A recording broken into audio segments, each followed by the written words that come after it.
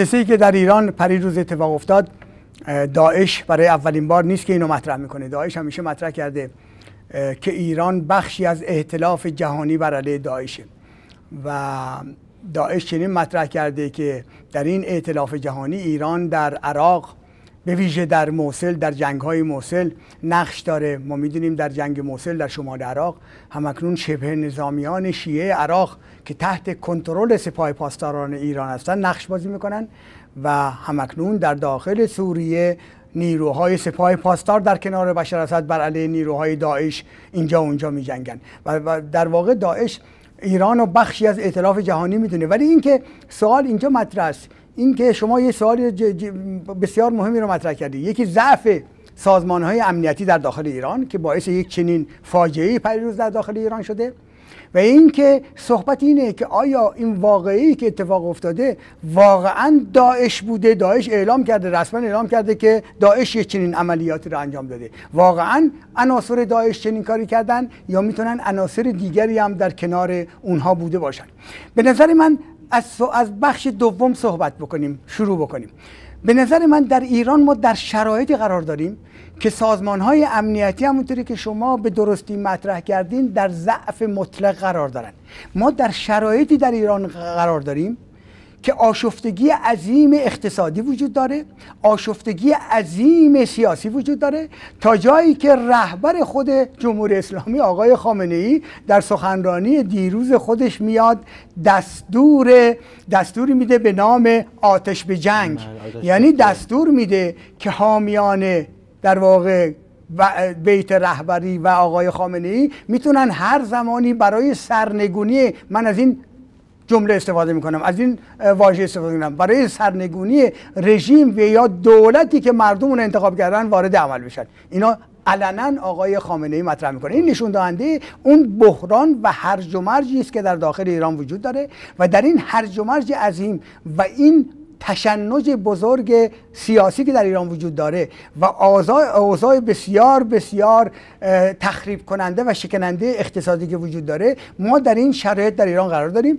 که طبیعتا نیروهای انتظامی و امنیتی در شرایط بسیار ضعیفی قرار دارن و هیچ چنین اتفاق می‌تونه بیافته.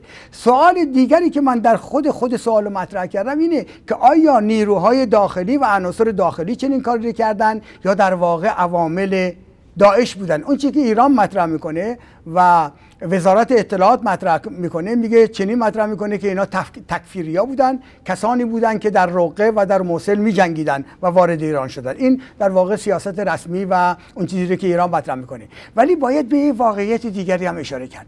ما می‌دونیم در داخل ایران در داخل نیروهای امنیتی و نظامی نفوذی های زیادی وجود دارن. نفوذی های زیادی وجود دارن. اگه اجازه بدین من یک نقل قول بکنم از فردوست جنرال فردوست. در کتاب خاطراتش که من دیروز دوباره مجبور شدم این کتاب خاطرات و بخشایش رو بخونم. در کتاب خاطرات خودش جنرال فردوست که می‌دونین در واقع استراتژ امنیتی ایران بود در زمان شاه ایران. جنرال فردوس چنین مطرح می‌کنه که ما همیشه متوجه بودیم و می‌دونستیم در دستگاه های در ایران توسط کشورهای خارجی و به ویژه موساد موساد اسرائیل وجود داره که اینا هیچ گونه جوابگوی دولت ایران و شاه ایران نیستن. یعنی هیچ موقع نگفتن در ایران چه کار می‌کنن. اینا فردوس در کتاب خاطراتش میگه. بنابراین من نمی‌خوام اشاره بکنم که در واقع همون عوامل ممکنه در این انفجارات نقش داشته باشن ولی باید به این واقعیت اشاره بکنیم که در داخل دستگاه های حاکمه ایران چه دستگاه های سیاسی و تشکیلات سیاسی چه در دستگاه های امنیتی و نظامی نفوذ عظیمی در واقع نیروهایی کردند که این نیروها در واقع از خارج از کشور و سازمان های امنیتی اطلاعات خارج از کشور دستور می‌گیرند. و می‌تونیم مطرح بکنیم که می‌تونه یک امکانی وجود داشته باشه که این نیروها در واقع چنین عملیاتی را کردن در داخل ایران که باعث این بشن که اوضاع و روابط ایران و عربستان بیشتر و بیشتر تخریب بشه.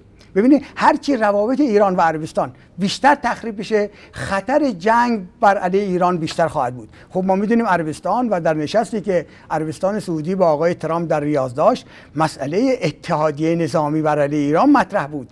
اتحادیه نظامی از پنجاه کشور عربی و اسلامی مطرح بود و این آقای ترامپ مطرح کرد. و هرچی این روابط بیشتر درش تخریب انجام بشه بین ایران و عربستان سعودی این امکانی که نیروهای خارجی و سازمانهای اطلاعات خارجی به هدف خودشون برسن و اون هدف جنگ داخلی در ایران و حمله نظامی به ایرانه بیشتر خواهد بود. امیدوارم که هیچ وقت این پیش بینی درست در نیاد و هرگز سرزمین ما شاهد چنین صحنه یا حتی شلیک یک گلوله از سوی هیچ نیروی خارجی آقای دکتر نباشه. اما صحبت کردید از همین ائتلافی که در عربستان شکل گرفت. خود نیروهای امنیتی در ایران هم انگشت اتهام رو به سوی سعودی ها بردن و میگن که نیروهای تکفیری, به هر حال از سوی سعودی ها حمایت می شدن حتی برخی ها گفتن که اونچه که اتفاق افتاده می‌تونه پیام معناداری داشته باشه به فاصله زمانی کوتاهی از همین پیمان که شما اشاره کردید. آیا واقعا میشه رد پای مستند سعودی ها رو در این زمینه پیدا کرد یا نه؟ اینها فقط می‌تونه حدس و گمان یا دست کم اتهامات امنیتی ببینید این بیشتر حدس و گمان و اتهامه. تا زمانی که ما اسناد مشخصی در اختیار نداشته باشیم که در واقع سعودی ها و به ویژه سازمان استخبارات عربستان سعودی پشت چنین جریانی بوده و عناصری را به ایران داخل کرده که چنین انفجارهایی را انجام بدن یه چنین تروری را در داخل ایران انجام بدن نمی‌تونیم در واقع به چنین مطرح بکنیم که عربستان سعودی پشت جریان بوده. آن چیزی را که ایران و سپاه پاسداران تا به حال مطرح کردن فقط اینه که محمد ابن سلمان فرزند ملک سلمان زمانی گفته بود که ایران داره در کشورهای عربی تخریب می‌کنه می‌خواد جنگی رو در کشورهای عربی به راه بندازه به ویژه در داخل خود عربستان سعودی. و ملک محمد ابن سلمان چنین گفته بود که ما این جنگ رو منتقل به ایران می‌کنیم. ولی این بدان معنا نیست که در اتفاقاتی که پریروز افتاده سازمان استخباراتی عربستان سعودی یا سازمان اطلاعاتی کشورهای دیگه نقش اساسی یعنی در حقیقت این صحبت که مقامات سعودی می‌کنن درست مشابه همین صحبت است که مقام جمهوری اسلامی می‌کنن. از رهبر جمهوری اسلامی که از الفاظ رکیک و زننده استفاده می‌کنه در بیان و خطاب قرار دادن مقامات دیگر کشورها تا سپاهیان که رجزخانی می‌کنن. کاملا درسته. ببین خود رهبر جمهوری اسلامی آقای خامنه ای چند روز پیش میگه که آمدن عربستان و دوشیدند و خاندان سلطنت عربستان سعودی نجات پیدا نمی‌کنه. با سقوط روبرو میشه. اونا به کشتارگاه می‌برن. این آقای خامنه ای گفته یعنی در واقع همون صحبتایی که رهبران عربستان سعودی برای ایران می‌کنن ایران هم انجام میده. پس بنابراین باید عربستان سعودی هم بگه که در داخل عربستان سعودی در واقع این سازمان های امنیتی جمهوری اسلامی هستن دارن تخریب می‌کنن. یعنی موقعی که در واقع انفجاری انجام میشه و داعش قبلا هم اتهامات وارد کردن بله. اینه که به نظر من اینا فقط اتهامات بیش در قصه قطیف هم همین مسئله مطرح شد به زود تازگی. آقای دکتر در همین جا ما شاهد هستیم که در این پیمانی که در ریاض بسته شد و سران کشورهای اسلامی با آقای ترامپ هم ملاقات داشتند بحث جدی بحث برخورد قطعی با تروریست و حمایت از تروریسم هست. به هر حال سپاه قدس وابسته به سپاه پاسداران شاخه برون مرزی سپاه پاسداران عامل و مجری بسیار طرحهای تروریستی جمهوری اسلامی در عراق، سوریه، حتی یمن هست.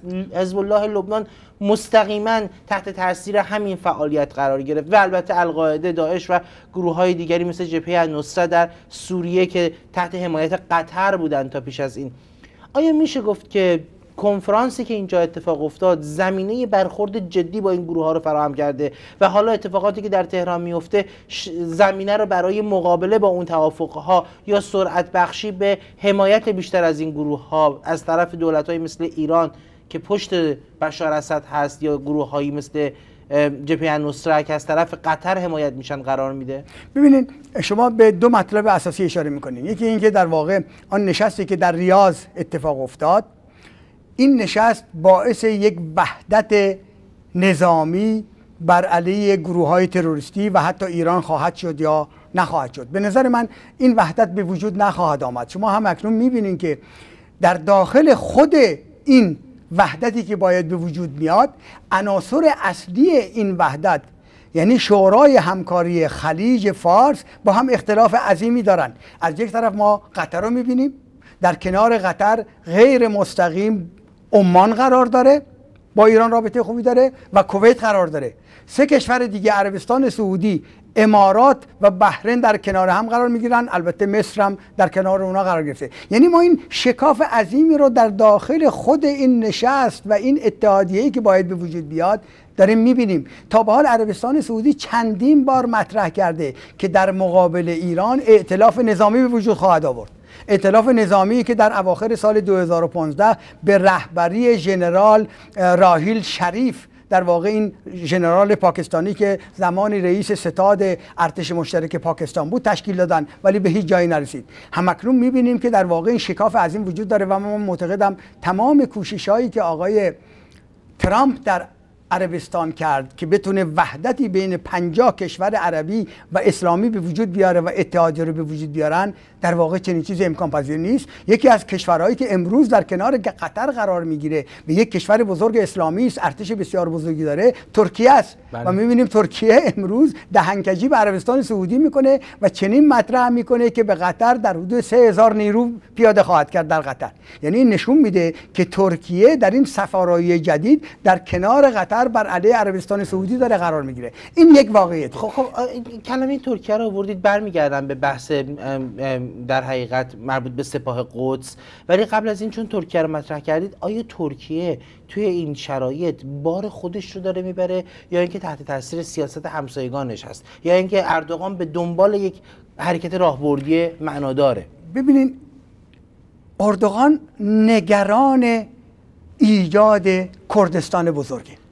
ما امروز در منطقه در شرایطی قرار داریم که بعد از جنگ موسل و فتح موسل به ویژه جایی که پیشمرگان کرد نقش اساسی رو بازی می‌کنن و پیشمرگان کرد مورد حمایت آمریکا قرار گرفتن.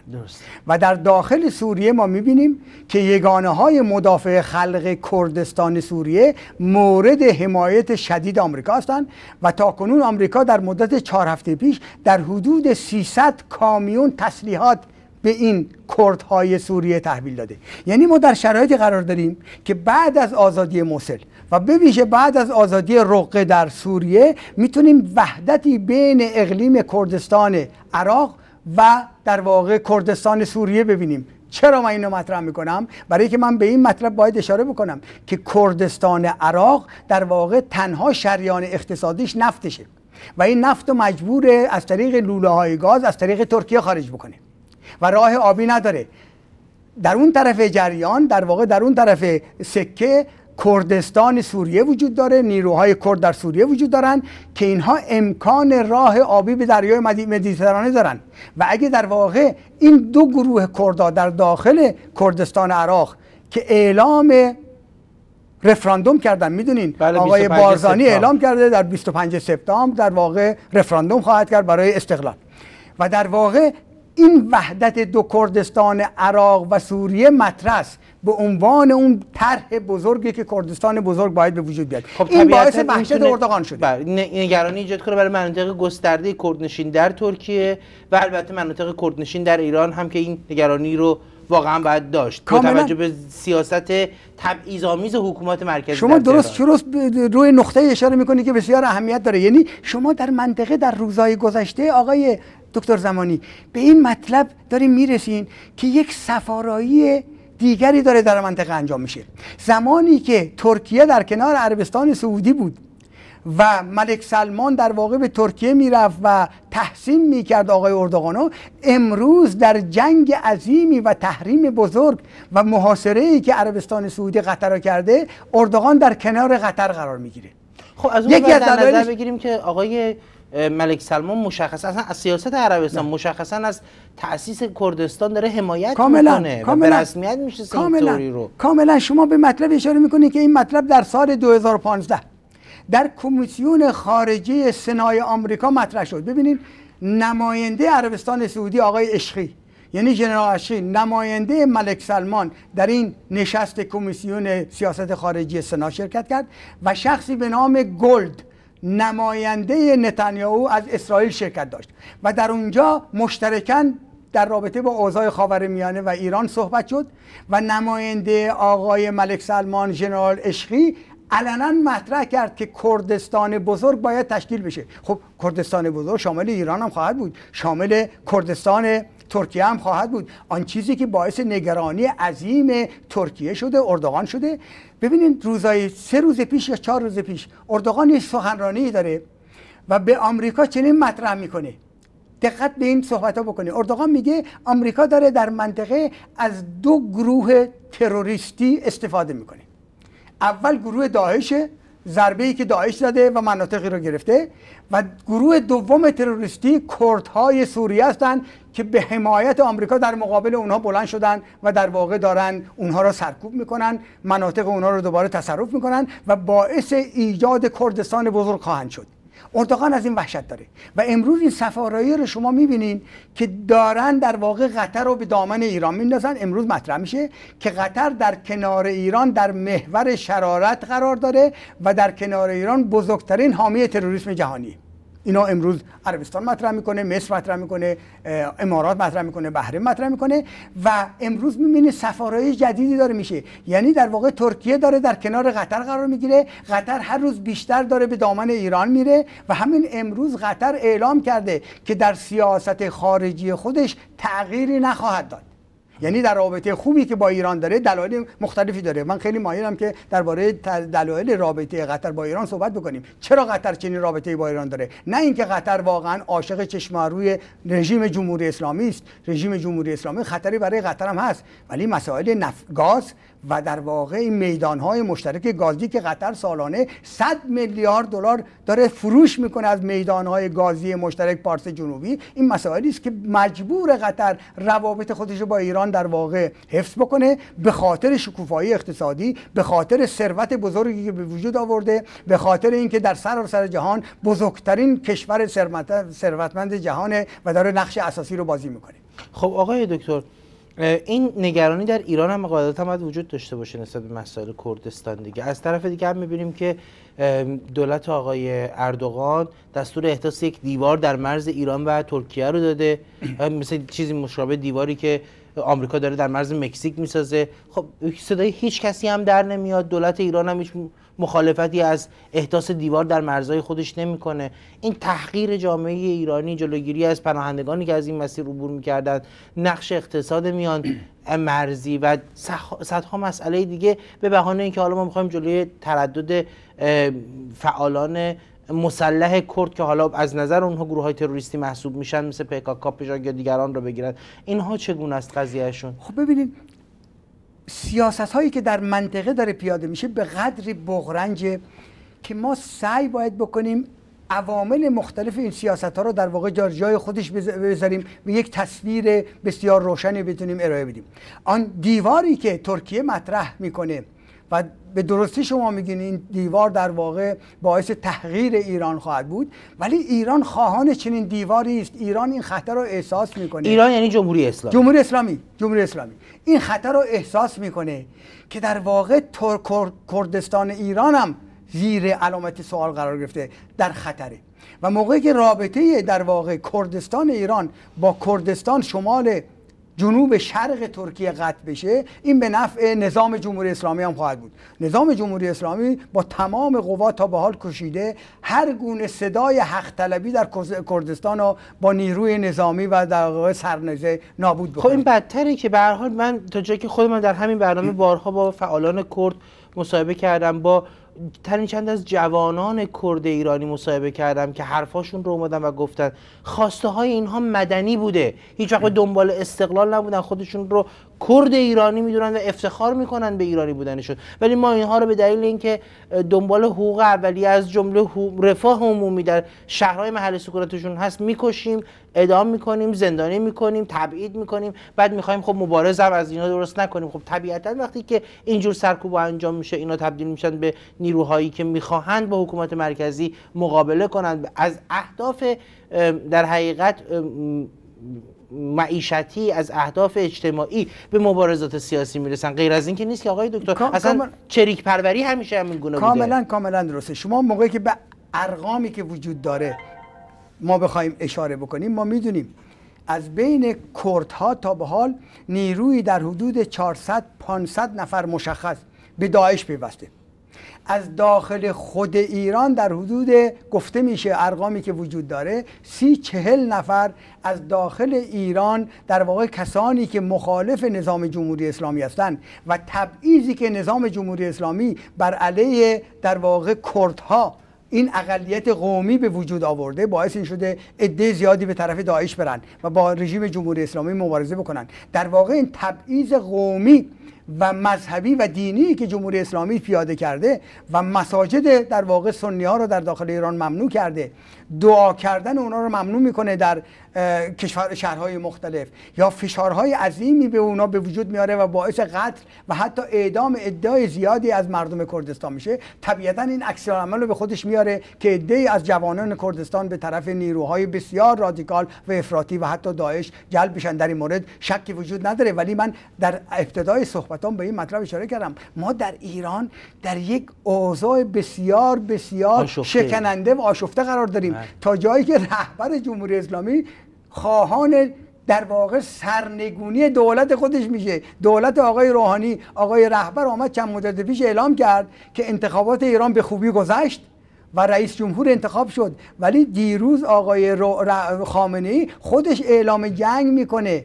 بله. آتش به جنگ میده. یعنی در واقع حامیان من هر زمانی می‌تونن وارد جنگ بشن و در واقع این دولتی رو که مردم در گیومه مردم انتخاب کردن اینو با سقوط روبرو بکنن. ما در این شرایط در ایران قرار تو خب تو همین شرایط ما می‌بینیم که بودجه های دفاعی ایران کم نمیشه. بودجه های برخوردهای نظامی ایران افزایش پیدا می‌کنه. سپاه قدس همچنان عالیترین بودجه رو داره. کمک هایی که ایران به حزب الله لبنان می‌کنه پول های کلانی که در سوریه داره خرج میشه هنوز سر جای خودشه. چرا آقای خامنه ای تاکید داره که بایستی این نیروها در خارج از ایران به این اندازه فعال باشند و اینقدر آتش افروزی در منطقه را دامن بزنند. ببینید آن چیزی که رهبران جمهوری اسلامی افراد، افراطیون جمهوری اسلامی مطرح می‌کنن میگن که ما در خارج از کشور یعنی در عراق و در سوریه تونستیم جلوی تهاجم اسلام رادیکال اسلام رادیکالی که اونو صحبت می‌کنن یعنی سلفی ها و تکفیری ها رو بگیریم. یعنی در واقع نیروهای داعشی که خواهان این بودن که به ایران وارد بشن و در ایران در واقع جنگ داخلی را یا خونریزی بکنن چنین مطرح میشه که ما در 40 کیلومتری مرزهای ایران جلوی اونا رو گرفتیم. و خب ما می‌دونیم که امروز جمهوری اسلامی در یک جنگ قدرت با کشورهای منطقه قرار داره. جنگ قدرت بین شیعیان منطقه است و این جنگ قدرت در واقع جنگ برای قدرت در منطقه است. یعنی یه جنگ مذهبی نیست. جنگ شیعه و سنی که امروز ما می‌بینیم در واقع جنگ سیاسی است و جنگ قدرته. و جمهوری اسلامی امکاناتی در کشورهای مانند سوریه داره در لبنان داره و در یمن داره در عراق داره و حتی کشورهای دیگه در بحرین داره. کشورهایی که شیعیان زیادی دارن و در واقع این جنگ داره بر علیه نیروهای عربستان سعودی سنی که چنین مطرح می‌کنن که نماینده کشورهای اسلامی رو داره ادامه میده. و در واقع ما در یک چنین شرایطی قرار داریم که جمهوری اسلامی پولهای زیادی رو به عوامل خودش در خارج از ایران به طور مثال حماس در نوار غزه حزب الله لبنان در لبنان و در داخل سوریه چندین میلیارد دلار سالانه داره خرج می‌کنه که بتونه رژیم بشار اسد حفظ بکنه و چنین مطرح می‌کنه با حفظ این نیروها در اطراف ایران می‌تونه خودش رو حفظ بکنه و مورد خطر قرار نگیره. این در واقع اون تز اصلی جمهوری اسلامی و نظام جمهوری اسلامی است. آقای دکتر یه پولایی هم از قطر راهی این مناطق میشه. اخیرا هم یک کمک یک میلیارد دلاری یا یک باج یک میلیارد دلاری گفته شد که قطر برای آزادی گروهی از اعضای خانواده سلطنتی که به دنبال شکار شاهین به عراق رفته بودند و به وسیله تروریستا گرفتار شدن. بعد یک میلیارد دلار داده که اینها رو آزاد کنه. این ماجرا چیه؟ حقیقت داره افسانه است شوخی وسط مملکتی که جنگه. مثلا شاهزاده های سلطنتی پا شدن واقعا برای شکار شاهین گیر تروریستا افتادن. من نمی‌فهمم. می‌دونی چی می‌خوام بگم؟ نه آقای آقای دکتر آقا زمانی در واقع گاهی وقت اتفاقاتی میافته که گاهی وقت قابل تصور نیست. ببینید من زیاد در افغانستان بودم و به ویژه در شمال افغانستان در استان جوزجان یک دشت بسیار زیبایی وجود داره به نام دشت لیلی در زمانی که جنگ شدیدی بین نیروها و گروه های افغانستان در افغانستان ادامه داشت خود من شاهد این بودم که ای از شاهزادگان عربستان سعودی به شمال افغانستان می آمدند و در این دشت لیلی به شکار شاهین می رفتن. شما باورتون نمیشه خیمه هایی که می زدن ماشین هایی که وارد می کردن و اون اطرافیانی که صدها نفر با اینها بودن و اون خیمه های مجللی که می‌زدن باور کردنی نبود و جالب موقعی که اینا دشت از دشت لیلی خارج می شدن خود من شاهد بودم. از دشت لیلی خارج می شدن تمام این تشکیلات رو برای حاکم شمال افغانستان ژنرال دوستون میذاشتن و می‌رفتن. و میلیون ها پولم بهش میادن و از منطقه خارج می‌شدن. اینی که در برای شکار شاهی. برای شکار شاهی. یعنی در واقع قابل تصور برای ما نیست که در یک شرایط جنگی به در داخل عراق هم چنین کار رو انجام بدن. و من از اونجایی که مدرک ندارم سند ندارم که آیا واقعا این شاهزاده ها یا خاندان سلطنتی قطر وارد عراق شدن سندی ندارم. ولی می‌تونم طبق اون تجربه که در افغانستان دارم حد بزنم که چنین چیزی واقعیته. ولی اون که واقعا آیا خاندان سلطنت قطر یک میلیارد دلار پول داده باشه؟ ما هیچ سندی نداریم. ببینید اسنادی امروز داره در اختیار مطبوعات قرار می‌گیره که اغلب این اسناد می‌تونن جعلی باشن. ما صحبت از یک خبرگزاری می‌تونیم بکنیم به نام خبرگزاری دپکا این یک خبرگزاری بسیار معروفی است در اسرائیل. و این خبرگزاری هیچ موقع منابع خودشو افشا نکرده. یعنی هیچ موقع نمیگه. خبری که میده از کدوم منابع است. خودش رأسا اعلام می‌کنه و خبر رو پخش می‌کنه و در شرایطی قرار داریم که مطبوعات جهان و ارگانهای مطبوعاتی این خبر رو پخش می‌کنن و تفسیرم روش می‌کنن. یکی از این خبرها می‌تونه در واقع همین مبلغ یک میلیارد دلاری باشه. یک خبر دیگری که بسیار مهمه و دپکا پخش کرده این خبرگزاری پخش کرده در رابطه با اینه که وزیر امور خارجه قطر یک هفته قبل از اینکه آقای ترامپ سفری بکنه به ریاض پایتخت عربستان سعودی سفری به ایران داشته می‌دونیم. بله. و چنین مطرح میشه که وزیر امور خارجه قطر در تهران با قاسم سلیمانی فرمانده نیروهای سپاه قدس ملاقات داشته. و هدف این ملاقات محرمانه این بوده که در واقع اون هدف تشکیل وحدت نظامی بین آمریکا و عربستان سعودی و اون وحدت نظامی برای ایران از بین بره. این هدف در واقع وزیر امور خارجه قطر و سلیمانی بوده که سوالی. این در واقع هیچ گونه تایید نشده ولی این خطر این, بله. این خبر چنون پخش شده که هر کسی باش صحبت بکنه میگه بله واقعیت بوده و چنین اتفاقی افتاده. ولی ما هیچ سندی نداریم. تایید شده نداریم. خود طرفین اعلام میشن اعلام نکردن آقای بله. دکتر ولی همینجا چرا اساسا قطر و عربستان با هم مشکل دارن؟ به حال این دو کشور عرب هستند همه ما به هر دلیل اگر به منطقه جنوبی خلیج فارس مراجعه کرده باشیم دیدیم که این کشورهای حاشیه خلیج فارس واقعا اقمار عربستانند و خب اصل پول و ثروت اونجاست.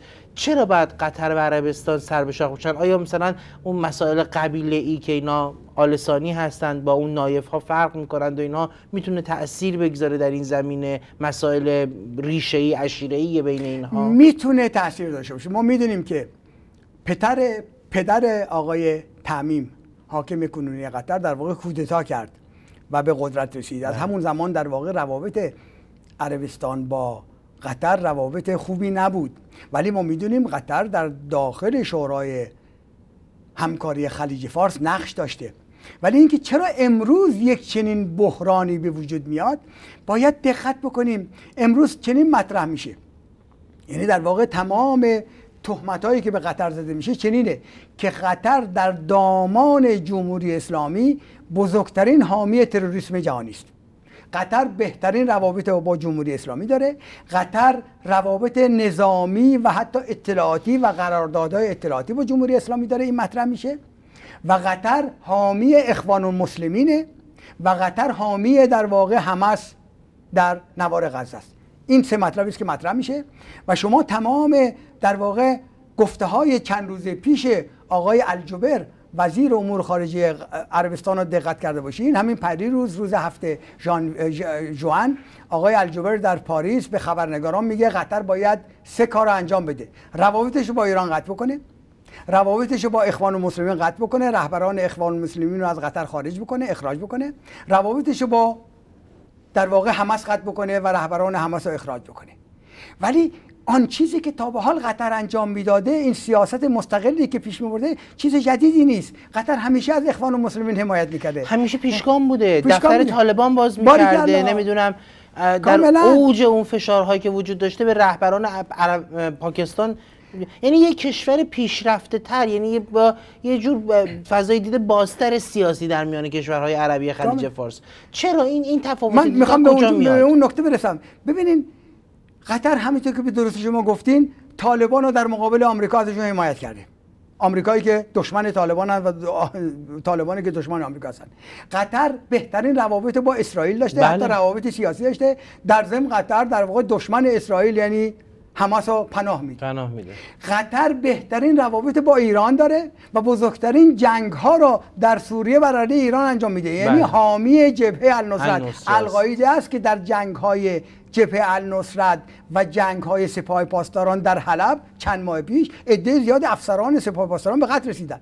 این نشون میده که این تضاد همیشه وجود داشته و رهبران کشورهای آمریکا و حتی اسرائیل و عربستان سعودی اینو پذیرفته بودن کمتر انتقاد می‌کردن. سوال اینه که چرا قطر در واقع امروز بهش چنین حمله میشه و چنین قدرت خطرناکی ازش می‌سازن؟ دو دلیل اساسی وجود داره. یک دلیل اینه که قطر امروز تبدیل به یک قدرت عظیم جهانی مالی جهانی شده. ببینید قطر هم اکنون در سراسر جهان 300 میلیارد دلار سرمایه گذاری کرده. داره تکنولوژی در واقع مدرن وارد کشور می‌کنه. قطر قدر قطر درآمد سرانه 130 هزار دلار در سال. آمریکا در مرحله 20 30 قرار داره در واقع در این 57 هزار دلار اگر اشتباه نکنم در امریکا. 130 هزار دلاره.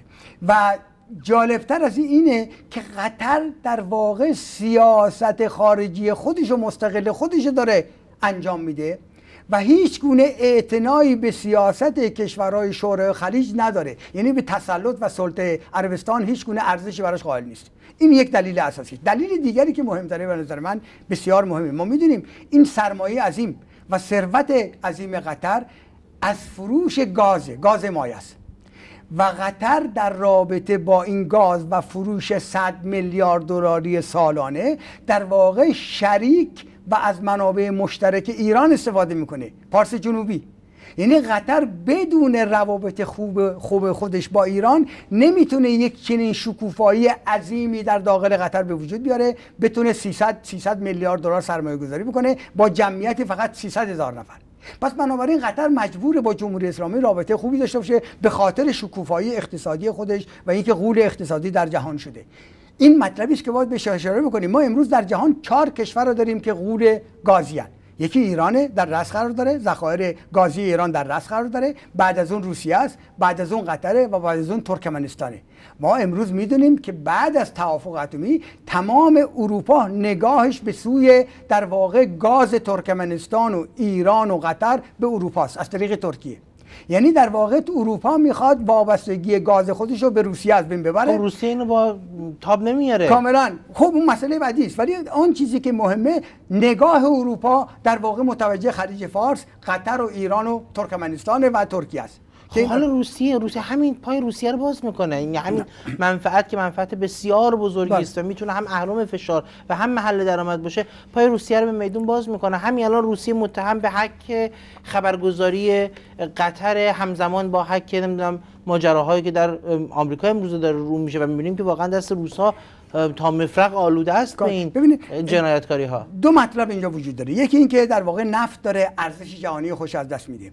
بزرگترین صادر کننده نفت در جهان 11 میلیون بشکه در روز عربستان سعودی. عربستان سعودی در مقابل گاز در واقع نفت عربستان سعودی در مقابل گاز داره ارزش خوش از دست میده. امروز نفت داره روز به روز قیمتش کاهش پیدا می‌کنه و قیمت گاز داره میره بالا و عربستان از این وحشت داره که دو قول عظیم گازی یعنی قطر و ایران موقعی که در کنار هم قرار بگیرن در واقع یک مشکل عظیمی برای آینده عربستان سعودی و نفت عربستان سعودی خواهد بود. این مطلبی بود که درباره در واقع اختلافات شدیدی که امروز در عربستان بر علیه قطر داره. من دارم مطرح می‌کنم چه شرایطی و چه دلایلی وجود داره.